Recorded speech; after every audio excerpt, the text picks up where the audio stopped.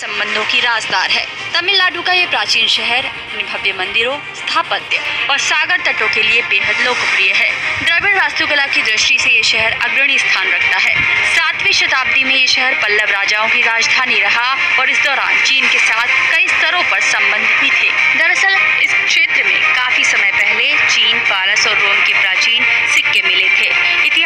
इतिहासकारों के मुताबिक ये इस बात के सबूत देते हैं कि यहाँ पर बंदरगाह के ज़रिए इन देशों के साथ व्यापार होता था।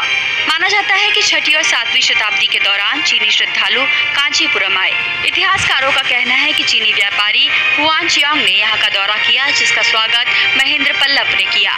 ऐसा माना जाता है कि चीन के लोगों के लिए ये शहर काफ़ी पहले से जाना पहचाना रहा और वे यहाँ व्यापार के लिए आते थे। पल्लव वंश का राज था और पल्लव वंश के राजा नरसिंह द्वितीय ने को बढ़ावा देने के लिए अपने दूतों को चीन भेजा था। इसी के पास बसे कांचीपुरम का भी चीन के साथ पुराना संबंध रहा है।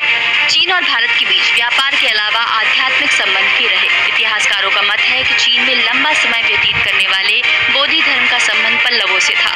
गौरतलब है कि बोधि धर्म एक महान भारतीय बौद्ध भिक्षु और विलक्षण योगी थे। उन्होंने 520 ईस्वी में जाकर ध्यान संप्रदाय का प्रवर्तन और निर्माण किया। उन्होंने अपनी चीन यात्रा समुद्री मार्ग से की। वे चीन के दक्षिणी समुद्री तट के कैंटन बंदरगाह पर उतरे।